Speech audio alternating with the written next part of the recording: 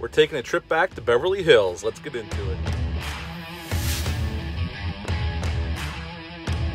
Hey, welcome back to my channel. We are on the Beverly Hills Cop 2. After the, the amazing success of the first Beverly Hills Cop film, Paramount actually had the idea of turning it into a TV series, something that they flirted with later on. Like several years ago, they thought about turning Beverly Hills Cop into a TV series once again. But back then, Eddie Murphy did not want to go back to TV.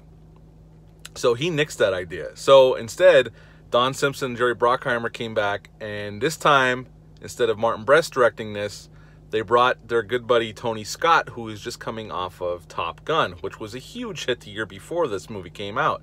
So they brought Tony Scott in and they armed him with a $28 million budget, which was a huge increase from the first movie. Now, this movie came out in May of 1987. It's rated R. It's an hour and 40 minutes long.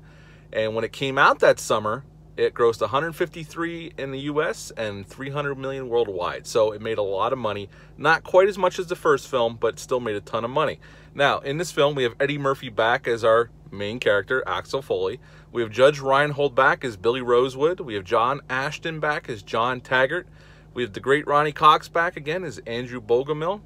We have Jurgen Prochnow as Maxwell Dent, our main villain, although again, in this film, he does not, even though he's our main villain and the main reason why these things are taking place, he does not do anything really villainous until, until really towards the end of the film. Um, Brigitte Nielsen is in this movie as Karla Fry. Now she has more, she's more involved with the the villain aspects of this film, especially early on through the midway until the end. But she she has more involved with it. Dean Stockwell as Chip Cain. A lot of people remember him from Quantum Leap. Paul Reiser makes a welcome return as Jeffrey, um, one of Axel Foley's co-workers in the Detroit Police Department. I didn't mention him in my review for the first film, but he's great in the first film, and he's even better in this film. He has a little bit more to do in this film. Not a whole lot, but he's on, on screen a little bit more. Gilbert Hill is back as Inspector Todd, and he's just as funny in this film, giving Axel all kinds of shit, and he's fabulous. And Gilbert Gottfried makes an appearance as Sidney Bernstein. This, well, we'll get into that. Um, and basically, in this film, in the beginning of the film, we see this um, this heist at this jewelry store. And Brigitte Nielsen in the 80s, you couldn't not recognize her. She was just coming off of Rocky 4 and Cobra. So, I mean, you can't mistake her when she's on screen because she's so tall. And um, they rob this jewelry store, and then we cut to Detroit and we meet Axel Foley's undercover once again. He's driving a Ferrari, and he's trying to get dirt on these people selling uh, credit cards, blank credit cards, and we cut back to Beverly Hills and we see Bogomil. Well, Bogomil calls Axel Foley and they have a conversation and we see right away they've been friends the two years since he's been in Beverly Hills. We see a picture of him, Taggart, and Rosewood on a fishing trip, and Bogomil has the exact same picture on his desk at his house. So we we get the feeling they've been friends this whole time. They stayed in contact. When Bogomil gets off the phone with Axel, he even says, "I'll call you in a week." So we know they keep in contact. They become really good friends, and they respect each other. Well, Bogomil gets been snooping around this oil field owned by Maxwell Dent, which we don't really find out till later. But I'm skipping back and forth here a little bit, and he gets in trouble with his new there's a new chief of police who's a real dick, and he gets suspended. So he's on his way home, and Brigitte Nielsen's character is faking like her car's not working. She he gets out to help her, and his car comes up and shoots him, and he ends up in the hospital. Axel finds out, and he decides to take a trip to Beverly Hills to help um, Rosewood and Taggart find out who who tried to kill Bogomil. And that's pretty much our initial setup of the film. And as, when when Axel gets there, he realizes things are different now. Things are, the chief is much more political. Taggart and Rosewood have been demoted to tra traffic duty, and they're not involved in the case. But Axel talks them into staying to start investigating on their own, and he'll help them. So they start poking around this gun club, which they find out these people are a part of, and that they end up they get they end up catching up to the point where they know they're going to rob this like Federal Reserve area they show up, it's a little too late, they're coming out, but they chase them in a cement truck in a pretty cool scene with Billy Rosewood driving the cement truck. And they end up in the Playboy Mansion. And this is where we see Chris Rock is playing the one valet at the, the Playboy Mansion. He only has a one line, one or two lines. That's it. But he's funny in his one or two lines. And in this movie, I mean, we get to see Hugh Hefner, some of the playmates, and there's a funny scene with Rosewood Taggart and Axel standing there looking around like this is what we've always dreamed about. so um, it's pretty funny. And um, as the movie goes on, I'm to skip over a little bit.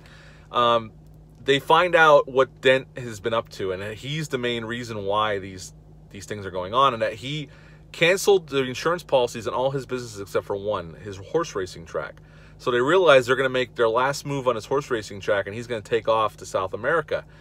When they get there, they're too late, but they realize his oil field's right behind the racing track, and we have our final shootout at this oil field. And at the end of the movie, Dent gets killed, so does Brigitte Nielsen's character, and they save the day. The chief gets fired because he's an abusive asshole, and um, they actually make Bogomil the new chief of police, and the movie ends on a happy note. Um, I skipped over a part though. There's a part where they go to um, Dent's financial advisor, and it's played by Gilbert Gottfried, and it's a great scene because Axel makes out these fake parking tickets. And he says, when uh, Sidney Bernstein's like, well, this isn't my car, it's my wife's car. And Axel's like, well, it's in your name. And he goes, picks up the phone, he goes, you bitch. And he's screaming. I, I did some research that actually Eddie Murphy and Gilbert Gottfried um, they actually improvised that whole scene. Everything they said to each other was improvised, and they're funny. It's a funny scene. It's they're, back and forth is hilarious. That's the thing about this movie. I actually think this movie is funnier than this, the first one. I think overall, and we'll get into it a little bit more why I think this. I think the first film is a better film overall. This film though does up I think ups the comedy and it ups the action for sure. Although when you have Tony Scott and a bigger budget, of course the action is going to be more than the original film.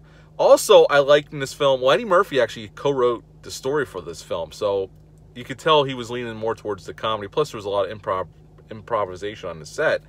Um, but that I also like that Taggart, Rosewood, and Axel are working together more in this film. They're, they actually spend a large majority of this film together. Where in the first film, yes, they got scenes together, but they're not really on screen together all that long until the end of the film. Like you got these moments during the film, and they're really not together till the end. In this film, they're definitely they're away they're together a lot more for the majority of the film, interacting with each other, and that's when you get to comedy gold with these three actors um, going off of each other. It just works better. Um, so in that respect, this film works I think in that department a little bit more than the first one. That's something I like more than the first film.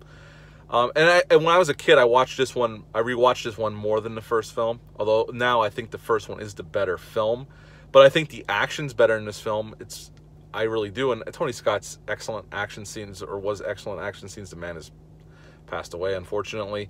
Um, what else? Uh, uh, Tony Scott got hired for this film off of the success of Top Gun, and obviously he worked on Top Gun with uh, Don Simpson and Jerry Bruckheimer. Also, another piece of trivia: the scene at the end where Billy Rosewood, when they're at the oil field, pulls out all these guns out of his trunk. That was a nod to Don Simpson. Um, in the documentary on the DVD or the Blu-ray, um, Judge Reinhold says that Don Simpson showed him his gun collection that was in the back in his trunk of his car. So they they put that in the script as a nod to Don Simpson, which I think is kind of cool. Um, but what would I give Beverly Hills Cop 2? I gave Beverly Hills Cop a 9 out of 10. I would give Beverly Hills Cop 2 an 8.5 out of 10. I think it's a really fun action comedy, and I think it's even a little bit funnier than the first film. But for whatever reason, I still feel the first film is a better film. Um, but this is definitely a more amped up version of the first one. It's, it's, it's almost a copy of the first film, honestly, but it's just a more amped up version of it, and there's more comedy. I I, I believe in this film. But yes, eight and a half out of ten for Beverly Hills Cop 2. It's a pretty damn good sequel to a hit movie. Um, what are your thoughts on this sequel? Leave a comment down below. Let me know. Hit the thumbs up. Hit the subscribe button. Share this video. I'd greatly appreciate it. You all take care of each other, and I'll be back with the Bastard Stepchild of the original trilogy, Beverly Hills Cop 3. I'm going to watch that tonight. I haven't seen it in a long time, so we'll see how my feelings are on it. I don't hate that film as much as some people, but I also don't love it, so we'll see how I feel when I watch it tonight. But I'll take care. I'll be back soon. Take care. Bye.